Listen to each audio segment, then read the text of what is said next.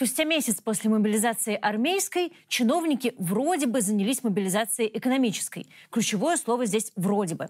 Итак, на этой неделе Владимир Путин провел совещание с новым координационным советом, который должен сделать так, чтобы армия была обеспечена всем необходимым. После этого совещания появилось немало устрашающих заголовков в духе «Путин поручил запустить военную экономику». Если же попытаться послушать первый источник, а это очень непросто сделать, не уснув на середине, ну или почитать стенограмму, вы увидите привычно туманный набор фраз, которыми Путин открывал за эти годы сотни, если не тысячи совещаний. Ну, говоря с телевизором, телевизором, то есть с чиновниками по видеосвязи, это, конечно, не на форуме Валдай выступать. Так вот, краткое содержание. Сколько раз за 18-минутную публичную часть Владимир Путин сказал, что надо как-то наладить работу. Гипнотическое видео. Мы столкнулись с определенными сложностями и с необходимостью модернизировать нашу работу, придать ей новые импульсы и новый характер обсуждали вопросы, связанные с необходимостью, еще раз повторю, обновления всей нашей работы по э, улучшению э, административных процедур. Ну и сейчас э, ситуация такова, что сама жизнь подталкивает нас к тому, чтобы всю, всю эту работу, на всю эту работу еще раз самым внимательным образом посмотреть. Нам необходимы более высокий темп работы по всем направлениям и предельно реалистичная оценка ситуации, положения дел в целом. Поэтому прошу э, всех настроиться на, содержательную работу в э, новом формате. Что за работа? Где тут экономическая мобилизация? Отсюда совершенно не ясно. Ну да, еще летом был принят закон, который может обязать любое предприятие работать на нужды фронта. Но речи о том, что российская экономика целиком встанет на военные рельсы и будет выпускать только танки и гимнастерки, сейчас нет.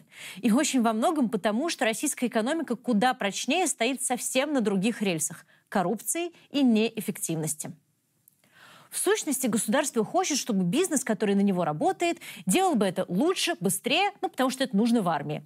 Но годами то же самое государство хотело от того же самого бизнеса совершенно иного. Любому чиновнику важнее отчитаться о результате, а не достичь его. Коррупция – это не возможность, а необходимость, ну, почти должностная обязанность, потому что коррумпированный значит лояльный. Бизнес, работающий на государство или просто около государства, не имеет никаких стимулов повышать качество, производить что-то быстрее или в больших объемах. Вопросы с конкурентами, ну, если таковые откуда-то возникнут, решаются иначе. Вот что пишет о невозможности военной мобилизации экономики Константин Сонин. Конечно, конечно, они сумеют увести кучу денег из образования и медицины и всего остального, что нужно людям. Но далеко не все. Отраслевые лобби, скормленные Путиным, сильнее кучки милитаристов в Кремле.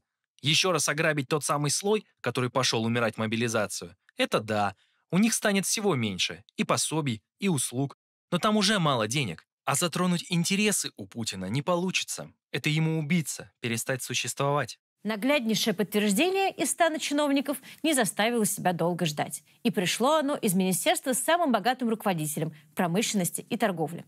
Официальный доход министра Мантурова за 2021 год задекларированный, да, я знаю, трудно поверить глазам, 704 миллиона 663 тысячи 698 рублей. Еще раз, 700 с лишним миллионов рублей у министра процветающей российской промышленности. Официально. Любой желающий может полюбоваться на сайте российского правительства в разделе «Сведения о доходах и имуществе членов правительства РФ». Ссылку мы оставим в описании, если вы не можете поверить в такие астрономические суммы. И да, Денис Мантуров на государственной службе с 2007 года, а до этого работал на государственных или очень близких государству предприятиях, в том числе оборонных. И вот под началом Мантурова во многом ведь и пойдет эта самая призрачная мобилизация бизнеса на нужды фронта и суверенного пути развития России, конечно. К тому же у Дениса Мантурова выдающийся коллектив.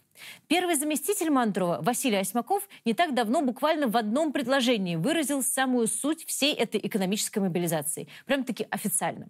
Итак, парламентские слушания об импортозамещении в Совете Федерации. Слово первому заместителю министра промышленности и торговли Василию Осьмакову.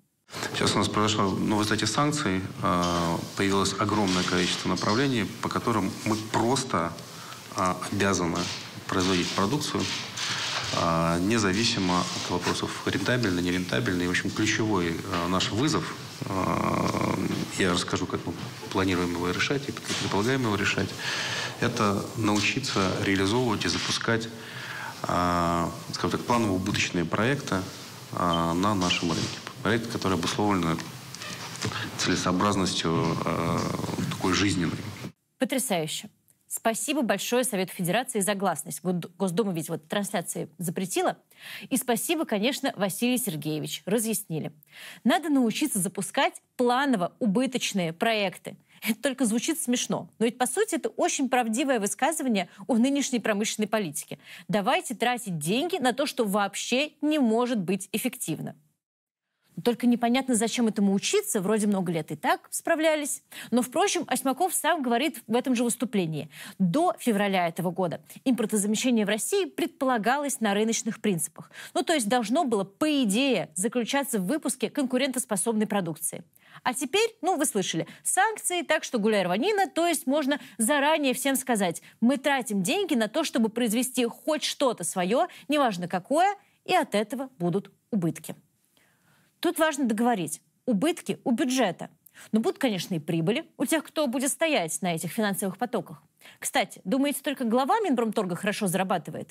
Смотрим на декларацию Осьмакова Василия Сергеевича за 2021 год. 53 миллиона рублей.